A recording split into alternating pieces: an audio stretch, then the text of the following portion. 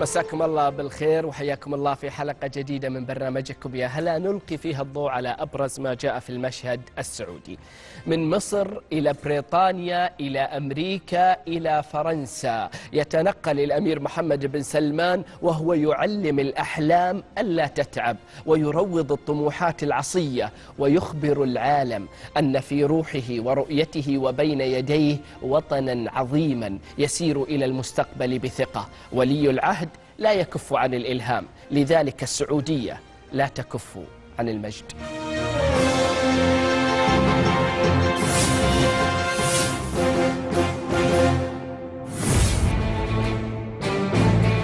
بتوجيهات من خادم الحرمين الشريفين الملك سلمان بن عبد العزيز غادر صاحب السمو الملكي الأمير محمد بن سلمان.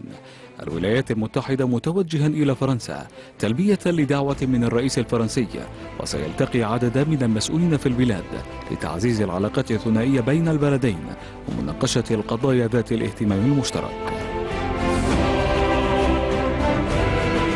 وتعتبر المملكة العربية السعودية وفرنسا شريكين استراتيجيين يجمعهما تعاون قوي في مجال الأمن والاقتصاد وذلك في ظل الجيل الجديد من القادة والذي يجسده كل من إيمانويل ماكرون وصاحب السمو الملكي الأمير محمد بن سلمان في القيادة العالمية الشابة التي تدفع بلادها نحو تحقيق إمكاناتها.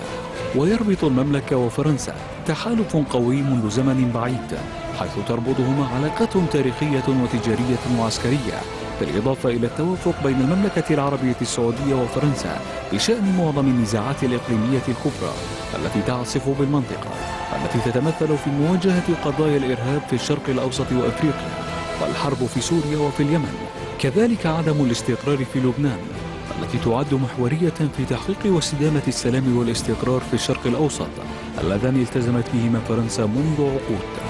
وتعتبر المملكة العربية السعودية حليفا تجاريا مهما لفرنسا الذي يسعى ولي العهد إلى تقوية تلك الروابط الاقتصادية القوية والتاريخية بين البلدين. وستزيد رؤية المملكة 2030 من فرص التجارة والاستثمار لقطاعات أعمال جديدة بما في ذلك الترفيه والسياحة والطاقة المتجددة والصناعات الدفاعية.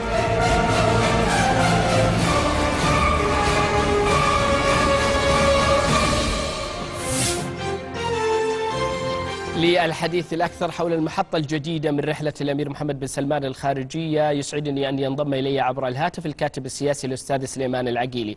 أستاذ سليمان حياك الله في هلا وشكرا لتجاوبكم على دعوة البرنامج.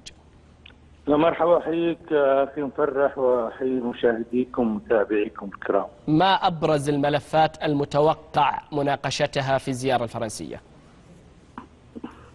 بسم الله الرحمن الرحيم، لابد من وضع مقدمة كيما نتحدث عن الملفات حيث أن قوة الشراكة أو التحالف السعودي الفرنسي ارسله الملك فيصل مع الرئيس ديغول في عام 1967 عندما زار الملك فيصل فرنسا وبسبب الحقيقة الدور الفرنسي الرائع تجاه القضية الفلسطينية وتفهم فرنسا ديغوليه للقضايا العربية ومن يومها بدأت العلاقات الفرنسية السعودية تزداد رسوخا. ولكن خلال السنوات الثلاث الماضية الحقيقة تراجعت أو خمد يعني الضوء هذه العلاقات وبسبب الاختلافات السياسية وأهم هذه الاختلافات مع باريس الحقيقة جنوح. الحكومة الفرنسية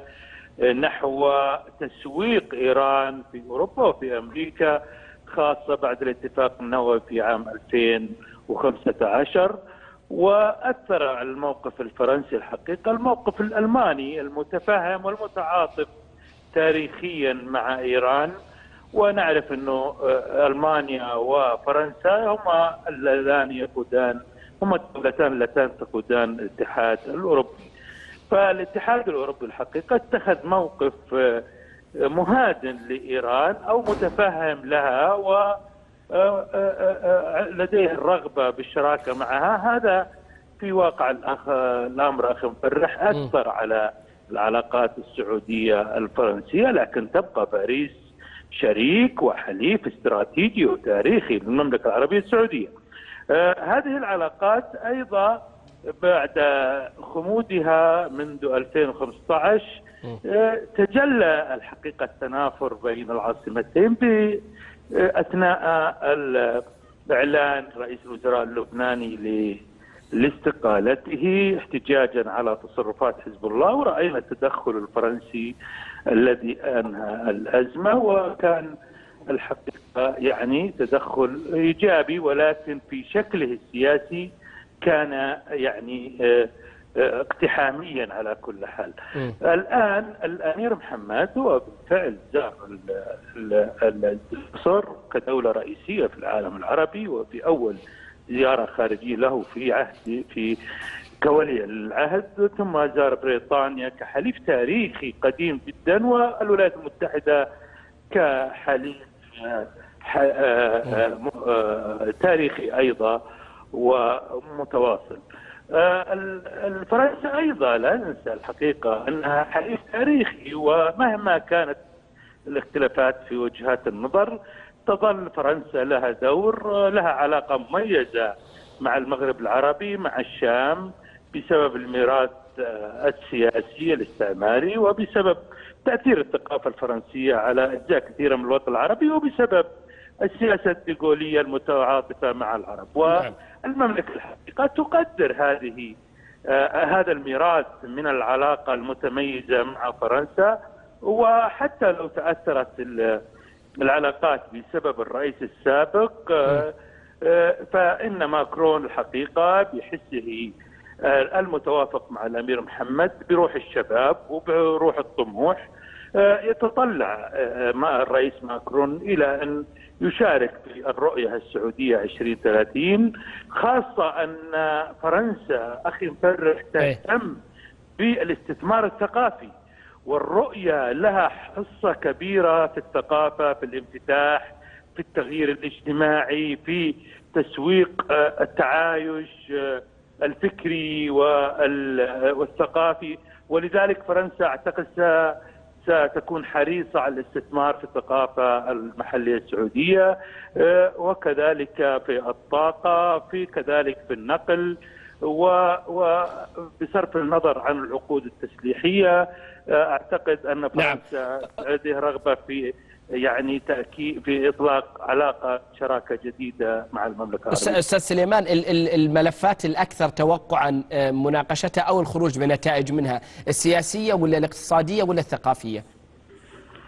بالنسبة للمملكة العربية السعودية ما في شك الأولوية للسياسة لأنه نحن أمامنا تحدي هو التحدي الإيراني والتحدي الإيراني كان في السابق في عهد الرئيس السابق كان يعني متفهم أو يعني غير مفهوم بالنسبة للقيادة الفرنسية القلق السعودي. وكان هناك نوع من التعايش الفرنسي مع الانفلاش الإيراني في المنطقة. الآن الرئيس ماكرون يعني لديه الرغبة الحقيقة في سياسة متوازنة في الشرق الأوسط. وأيضا لا ننسى التأثير الأمريكي تأثير الاندفاعية الأمريكية أو الاستراتيجيه الامريكيه في الشرق الأوسط تؤثر في السياسات دول غرب أوروبا وأعتقد انه بالنسبة لنا نحن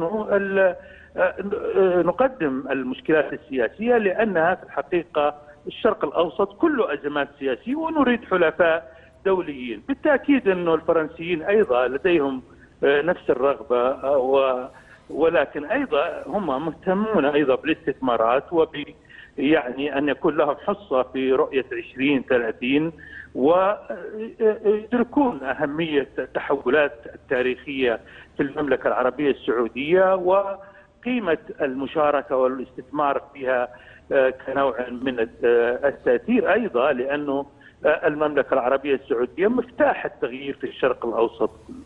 نعم. آه، أستاذ سليمان العقيلي شكرا جزيلا لك ولحضورك معنا في هلا. كان هذا صوت الأستاذ سليمان حول هذه الزيارة ومثل ما كنا معكم في برنامج يا هلا في متابعة لزيارة الأمير محمد بن سلمان إلى مصر ثم إلى بريطانيا ثم إلى الولايات المتحدة الأمريكية بكل تفاصيلها. سنظل معكم في تغطية واسعة ومباشرة وملاحقة لكل جديد في زيارته الخارجية لفرنسا. بعد الفاصل الإخوان والتعليم في زمن الحزم لا وجود للجماعة في تعليمنا.